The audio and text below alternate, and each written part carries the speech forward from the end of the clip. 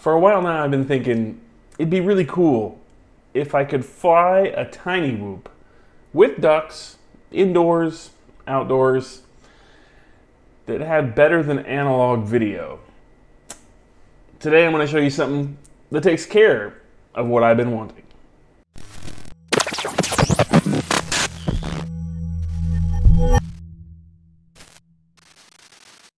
Hey everybody, I am Bacon Ninja, and today we're going to talk about the Mobula 7 HD Zero Edition.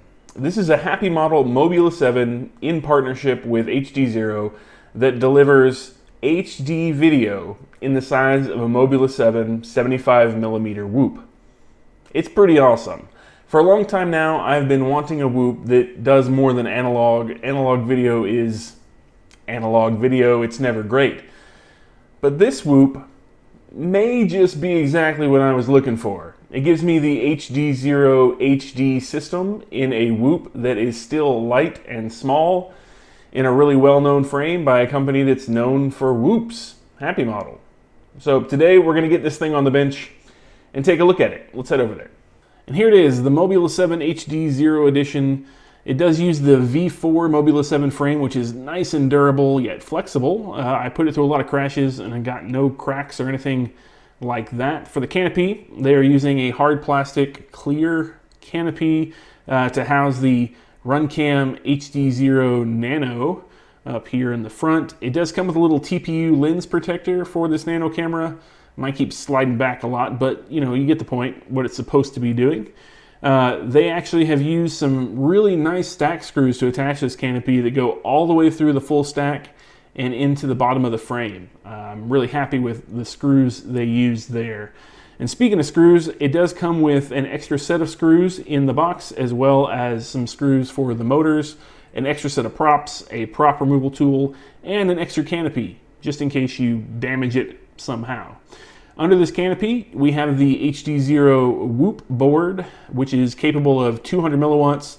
No smart audio on this thing, uh, but you know you can do it with the HDZero stick commands, which I did just fine. It's really no big deal. Uh, to protect our camera between the Whoop board and the camera, they did insert a piece of foam. I believe that was a recommendation made by Nick Burns, uh, and it's very helpful for when this thing, you know, bounces around in the front when it gets hit the, the foam there will protect the Whoop board from being damaged. A couple of things about the Whoop board. The MIPI cable is right on the edge here. So you will want to put something on this MIPI cable to retain it or else you may lose it in a crash. That something should be a soft glue that's silicone based. So something like E6000 or Welder, or in my case, I use Shoe Goo. It's very available in a lot of stores. I just put a little dab on the edge right there and it will retain this MIPI in the instance of a crash. You want to do the same thing with a UFL on the other side because if that UFL comes off mid-flight and you don't notice somehow, you will burn up this Whoop VTX in a hurry. And on the back side of the VTX, we have the programming cable so you can do a firmware update. Uh, you will probably want to do a firmware update to this thing when you first get it because HDZero is updating their firmware all the time. So be familiar with that process. Go watch a video about it if you aren't.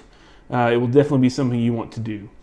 Under that Whoop VTX, we have the Happy Model all-in-one flight controller down here with the motor plugs, a USB-C for programming, an XT30 for your 2 or 3S batteries that this flight controller all-in-one is capable of, and tucked away, let me find it, let me find it, let me find it, tucked away right here is the Express LRS ceramic square antenna. This has an SPI an SPI Express LRS receiver built in, and it is flashed as part of Betaflight with Express LRS 2.0 already. So if you are using any version starting with a 2 on your TX, this RX will bind up just fine to it, and you'll be good to go. And I was able to get telemetry and all the good stuff out of it with my Express LRS receiver. Uh, for motors, they are going with the Happy Model 1102 9000 kV motors with a 1.5 millimeter prop shaft. We'll take a look at that here in a minute in the measurements. And uh, as you can see, we are not using any prop screws. They are just press on. For props, we have the 40 millimeter NewBeeDrone props, which uh, we'll talk about later in the video. Uh, but yeah, they're on there. You'll notice I'm missing one. We'll talk about that when we get to that point of the video. Uh, for the VTX antenna, they are using just a standard dipole hanging out the back here. I didn't have any issues with that. It, uh, it didn't really take any damage. It flipped out of the way when it needed to, and it never made its way into the props. It's nice and protected there. Uh, on the bottom, again, we have the XT30, which is just long enough. I don't, I don't think I'd want it any longer or any shorter. It worked out pretty well. And we have the standard Mobula 7 battery cage here. Now for batteries, I am going with the 450 milliamp hour Tattu high volt battery, and that is because it fits just perfectly in there. So you want to be very careful with the kind of battery you select for this quad, because if you do a 2S or 3S, it has to fit in this, and you are liable to crack this thing open if you just go squishing a big 3S battery in there somehow. So be careful about what kind of batteries you use. We'll measure that here in a second so you can get an idea. Uh, but I am going with this pack because it's it's really good and it fits in there nice and snugly, real securely. And uh, yeah, I like it. So let's take some measurements on this thing and see what it looks like. So it looks like it is right at 75 millimeters motor post to motor post. It is indeed running a 1.5 millimeter prop shaft. There's plenty of room for 40 millimeter props in these ducts. The battery cage is a hair over 17 millimeters wide, and the battery cage is just a little over 14, almost 15 millimeters deep. On the scales, this quad weighs right at 40 grams, and with the Tattu 450 mAh pack, we're looking at 68 grams all up. So now that you've seen the specs on the bench, let's fly this thing inside a house. A lot of people will have questions about flying a 2S 75 millimeter whoop in the house. I did do it in acro mode with no motor output limit or throttle curve or anything crazy like that, and it went just fine. Uh, I will be running it at 200 milliwatts on the VTX with Express LRS at 250 hertz. So let's go take a look at that footage. All right, so I'm gonna take off my workbench here, and I am running the Tattu 450 mAh pack, high volt charged. Uh, I'm fair warning, I'm not gonna finish this pack, but you will see why. And I apologize ahead of time for the clutter in my house. Uh, we picked up, but we have small children, so it's impossible to keep it clean. And we do have family in town, so my wife is sitting there with her mom in the living room looking at me like I'm crazy flying this whoop through the window here. But the whole time I was flying this, I thought, man, this uh, is doing pretty well on light transitions. It's There's a lot of light transitions in my house. It's not a great layout for flying whoops. It's basically just one big oval here that I can get to.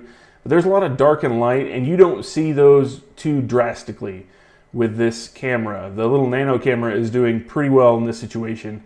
I am running 200 milliwatts, and for the VRX, I'm running the new HDZero VRX with some Lumineer AXII Omni antennas on the top and some TrueRC X-Air patches on the side. But I'm not getting any sparkle. I'm gonna go under the table here. My wife looks at me like I'm crazy. Uh, but I'm not getting any weird sparkle or breakup. The control link is good on Express LRS. You can see down there on the, the bottom right that I'm getting 100% normally all the time for this SPI receiver. It does come flash with Express LRS 2.0, I believe. It's definitely a two dot version of Express LRS on the uh, SPI, which is built into Betaflight, so you can't flash it separately. It's good that they have the 2.0 on there so that you can run newer firmware on your RX and it will still work with this SPI TX.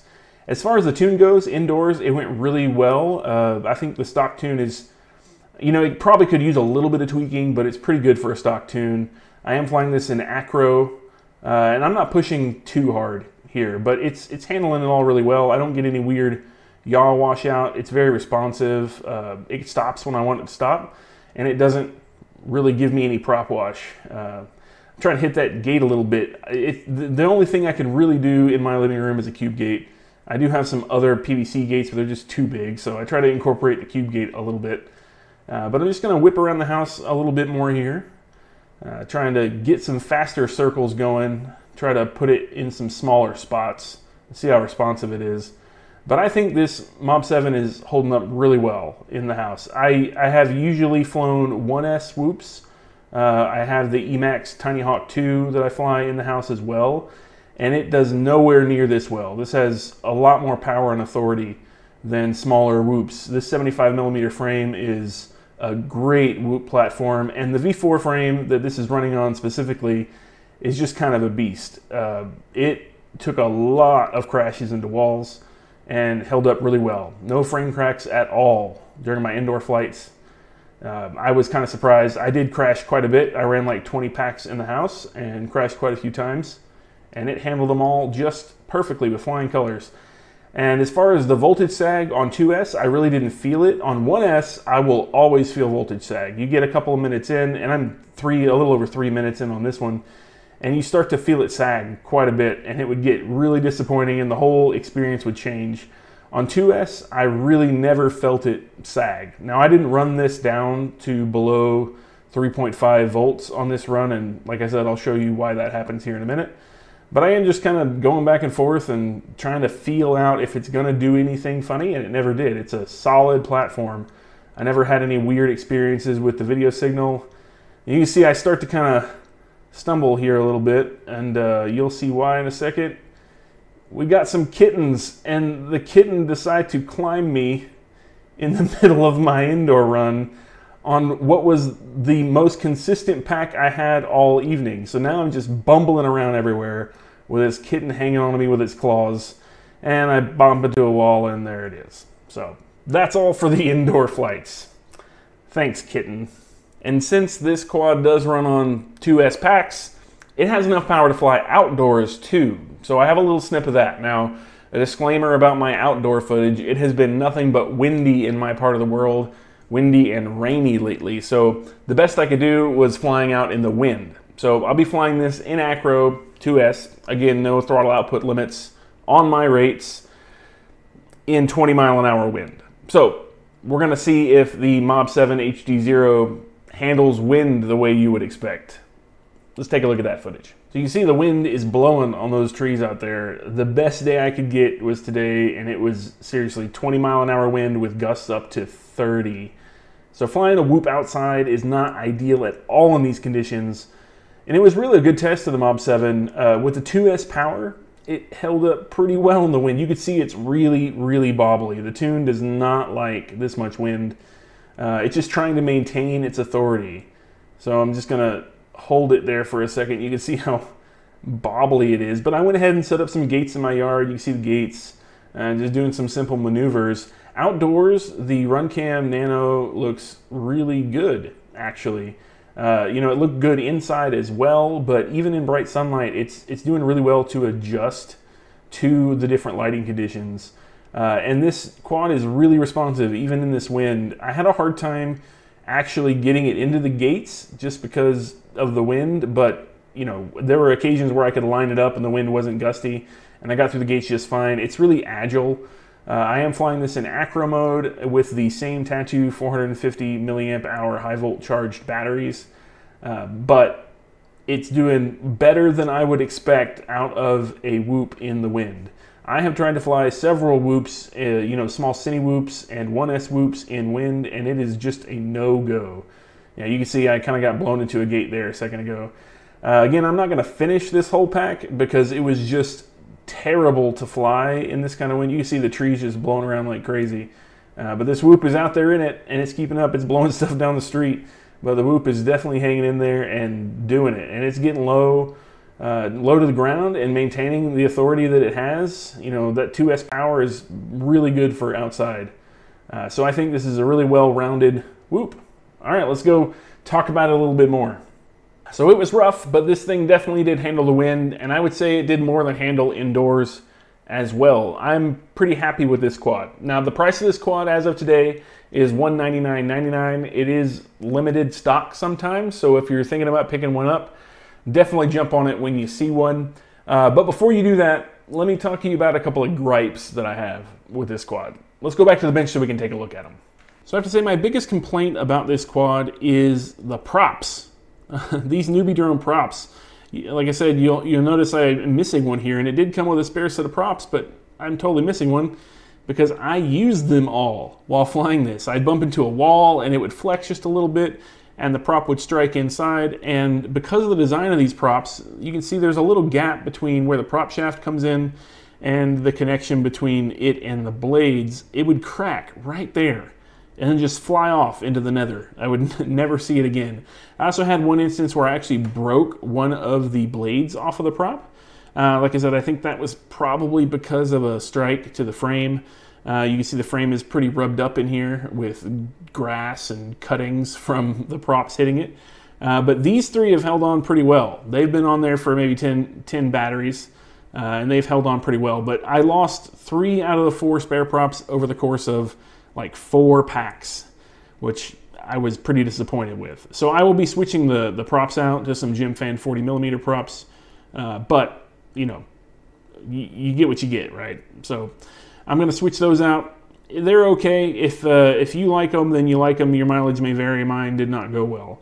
Uh, the other real complaint that I have is the camera angle availability. There's not a lot. Uh, especially if you have this TPU print in here, you really can't go down very much at all. And every time you bump into something, it will bump the camera angle up. It seems like it always finds that camera in the right spot. Uh, so I found myself flying with more angle than I would have liked, way more often than I would have liked. If I take that TPU off, I might be able to get down a little bit more, but it still feels like there's not a full amount of travel before it bumps into the top of the canopy here. So if you're going to get this, plan on flying it maybe more angle than you're comfortable with until you get used to it because uh, you just can't level it out to like something like 15 degrees. You're going to be 30 degrees and above in most cases with this drone. But other than those two complaints about this quad, I really enjoyed my time with it. I really did. For $199, you probably couldn't put this together yourself with the Whoop board, especially with the tune and, and all the good stuff that Happy Model has already done to it and sent out to its test pilots uh, and gotten worked out before you got it in your hands. You probably couldn't buy all the components, put it together, and have that experience for that amount of money. Is it the perfect drone for HD? The perfect little tiny whoop in HD? No, it's not the perfect tiny whoop in HD. Uh, it could probably be a little bit lighter. The 1S board that they just came out with for HDZero might solve that problem, so we'll see what comes down the road. But if you've been looking for an HD whoop, this is definitely a solid purchasing option. There's not a lot on the market for HD whoops, especially if you're doing something like DJI. I think there may be one little option and they weigh a ton. This is by far the lightest HD whoop on the market currently in production. So if you're on the fence about buying it or you're getting into the HD Zero system and you want something to fly in your house, but also tool around the yard a little bit, this is the perfect whoop for you, I think. Like I said, down the road we may see a little bit lighter version of this, but today it's the one on the market that wins for sure. I was very happy with my time with the HD Zero whoop. And that's it. That is all I have for the HD Zero Mobula 7. Like I said, I really enjoyed my time with it. I'm definitely going to continue to fly this thing. I'm going to try the Gemfan props and see if I like them better. Uh, I'm really hoping I do. The, the hub design looks a little bit different. So if you're in the market for some of those props, definitely leave a comment and I'll be happy to drop you a link to them or maybe down the road I'll let you know what I think about them if you're interested and you see this, you know, a week or so from now. I do have them coming in the next couple days. So we'll see how I like those. If this video has been helpful, please give it a thumbs up. And if you haven't yet, consider subscribing to the channel. I'm very near a thousand subscribers, and when I make it to a thousand, I'll be doing a giveaway. So definitely subscribe and hit the notification bell so you'll see when a video about a giveaway comes out, and you can sign up for it and take part in it. Maybe you'll win something. You never know. But anyway, thank you again for hanging out with me and taking a look at this little tiny whoop. And until next time, I'll catch you later.